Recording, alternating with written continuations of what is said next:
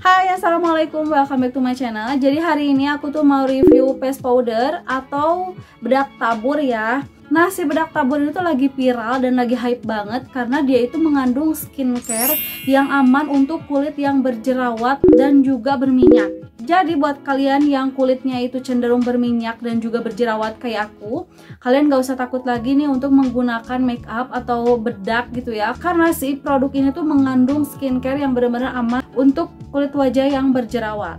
Nah teman-teman sebelum aku lanjut ke videonya dan aku kasih tahu produknya itu apa, kalian boleh like dulu video ini, kemudian subscribe dan bunyikan loncengnya untuk dapat notifikasi langsung dari aku dan untuk membantu supaya channel aku semakin berkembang.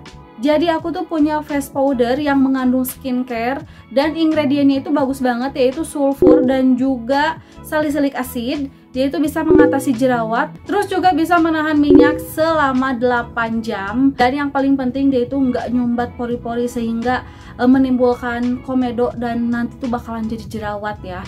Nah, si produk ini adalah dari Neonormal. Jadi ini ya produknya tuh. Kayak gini Tulisan atasnya itu ada neo normal, acne face powder dan netonya itu 30 gram gitu ya. Bentuknya tuh kayak gini.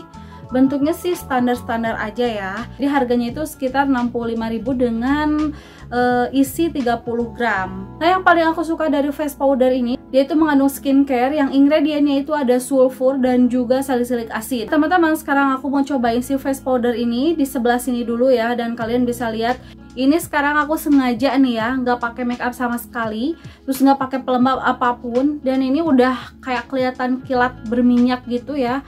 Aku mau coba pakai ini dan nanti kalian bakal liatin ini tuh semet apa. Saat aku pakai ke wajah aku yang benar-benar lagi mengkilap berminyak gini ya.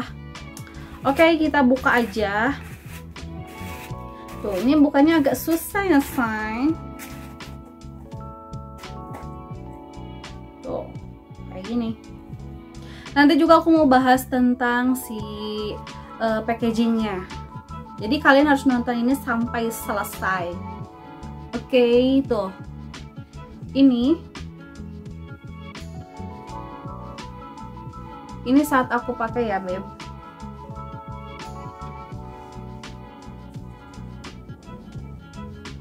Setengah muka dulu biar kalian lihat perbandingannya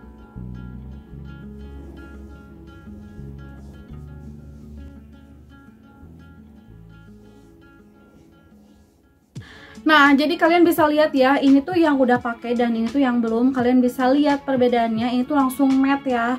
Terus kalau yang itu masih kayak minyakan gitu karena aku belum pakaiin. Nah, sekarang karena kalian udah lihat perbedaannya antara ini sama ini, kita langsung pakai ke semuanya. Sekarang aku mau pakai ke seluruh wajahku. Ini pakainya banyak-banyak pun nggak apa-apa karena dia itu nggak medok sama sekali ya, Beb. Tuh.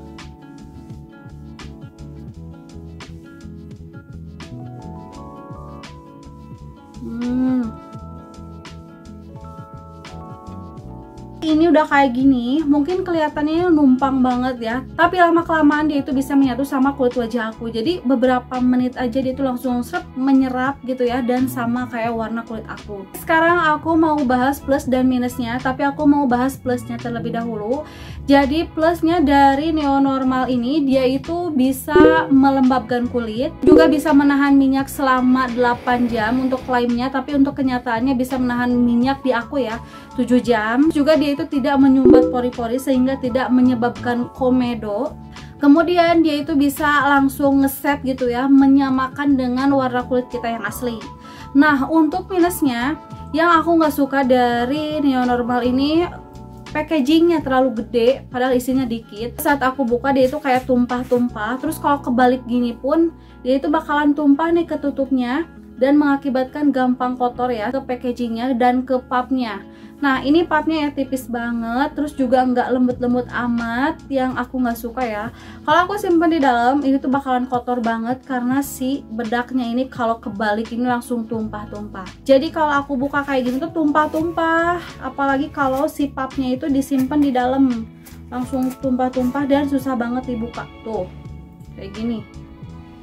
Tuh jadi gampang banget keluar-keluar yang aku mau gitu ya dan seharusnya si ini tuh ada penahannya biar biar nggak keluar banyak kalau misalkan dia itu kebalik atau terjatuh gitu. Kemudian dari shade-nya dia itu nggak bisa dipilih ya. Jadi kayaknya satu set itu untuk semua jenis kulit tapi ketika kita pakai emang sih awalnya itu kayak keputihan tapi setelah beberapa menit dia itu langsung ngeset dan nyamain dengan warna kulit kita yang asli. Jadi kalian nggak usah takut sih meskipun kalian uh, kulitnya kayak aku soal mateng atau buat kalian yang kuning langsat atau yang putih banget ini cocok banget sih. Ini pas karena untuk beberapa menit setelah kita ngeset pakai face powder ini dia itu langsung menyamakan dengan warna kulit kita yang asli gitu. Nah untuk coveragenya mungkin si face powder ini tuh nggak bisa menutupi noda bekas jerawat kayak gini ya. Ini sama sekali nggak bisa menutupi tapi bisa disiasati dengan penggunaan uh, foundation cushion yang ramah untuk kulit berjerawat. Tapi kalau untuk ini aja sih nggak bisa menutupi.